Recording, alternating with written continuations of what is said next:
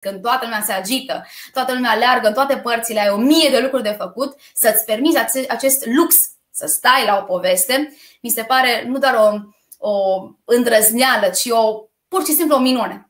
O, o, dacă e o îndrăzneală, atunci o îndrăzneală bună, e una sănătoasă. Dar eu cred că este pur și simplu o minune și o șansă extraordinară.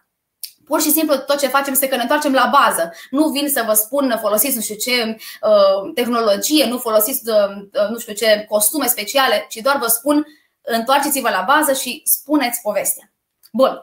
Creierul nostru deja începe să își creeze niște imagini, niște imagini uh, narrative despre poveste. Dacă noi folosim la acest nivel uh, în poveste, folosim uh, imagini uh, auditive, olfactive, uh, uh, tactile, dar toate prin cuvântul nostru, da? În momentul respectiv, copilul își creează propriile sale imagini, îi permite creierul să, gândea, să gândească, să lucreze. Chiar dacă mi se spune scufița roșie și mi se spune că e îmbrăcată în roșu, e, eu ca ascultător am propria mea nuanță de roșu, care e a mea, în momentul în care mi-arătați, de exemplu, o imagine cu asta e scuvița roșie, în momentul respectiv creierul meu nu mai gândește, că nu mai are nevoie. A primit deja servit, servită uh, mâncarea, nu mai trebuie să se pună el să, să gătească. Bun. Și începe să lucreze. Creierul este tot mai activ, tot mai implicat. Dacă simțurile sunt dezvoltate, pentru că înțelege atmosfera, mirosurile care sunt în pădure, uh, pune mâna pe o floare, uh, cântă un cântecel, uh, vede scufița ceva acolo și dincolo și dincolo, lucrurile acestea, de fapt, creierul le lucrează. Noi le spunem prin cuvânt Uh, celui care ne ascultă povestea, dar de fapt creierul ascultătorului este cel care lucrează și lucrează și lucrează. Și este senzațional, cum spuneam mai devreme, pentru că în momentul respectiv, deși simțurile noastre sunt uh, în, uh, în deschidere, sunt în dezvoltare și lucrează și discernământul și puterea de gândire critică și logică este la fel de, de bine deschis și de la potențial foarte înalt. Asta este diferența între a, a vedea o poveste a viziona un filmuleț da? sau o reclamă care stimulează numai simțurile, numai simțurile, iar uh, discernământul nostru este foarte, foarte, foarte, foarte uh, scăzut. Tocmai asta e și ideea, să nu gândești ca să cumperi. E, o poveste tocmai asta face, mai ales în, în domeniul uh, educativ. Asta face, pune la același nivel atât discernământul pentru ca să înțelegi, pentru ca să înveți ceva din poveste, cât și toată partea aceasta creativă și de, de imaginație a creierului, a creierului ascultătorului.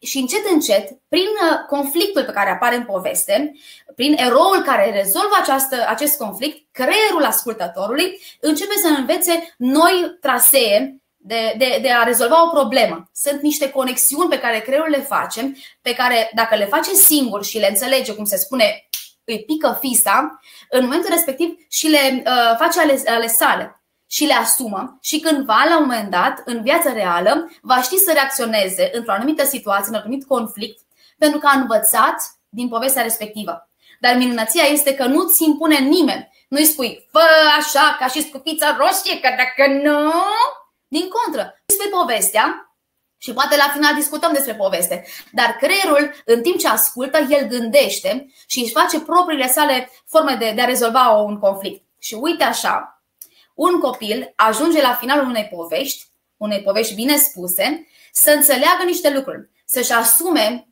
niște, niște trasee pe care poate să le aplice apoi în viața reală și să se bucure în același timp de toată atmosfera frumoasă, de um, toată imaginația pe care ați oferit-o și ați dezvoltat-o în ei prin ascultarea acelei povești. Toate acestea se întâmplă într-un timp foarte scurt, în timpul în care creierul funcționează, funcționează, creează, își imaginează, învață, se dezvoltă toate aceste lucruri, în timp ce voi spuneți o poveste. That's it.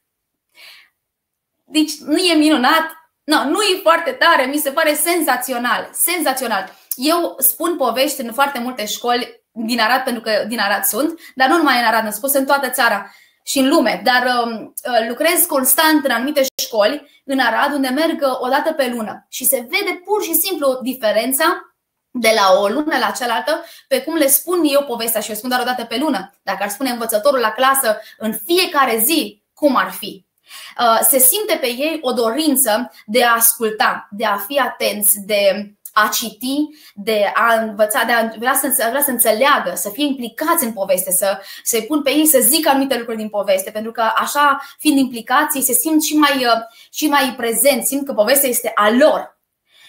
Credeți-mă că toți acești copii stau foarte mult pe telefon. Toți copiii astăzi, din păcate, nu e așa, au telefon, au tabletă, au ceasuri speciale, au uh, plasme acasă. Și totuși, o poveste bine spusă poate să cucerească. Eu vă dau un instrument, cum ar fi, imaginați-vă pe lângă o sabie laser, da? Eu vin și vă iau un băț de pe stradă și zic, folosiți acest băț. Și credeți-mă că funcționează foarte bine.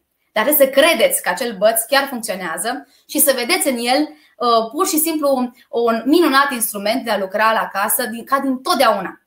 E, asta, face, asta face o poveste bine spusă în creierul unui copil.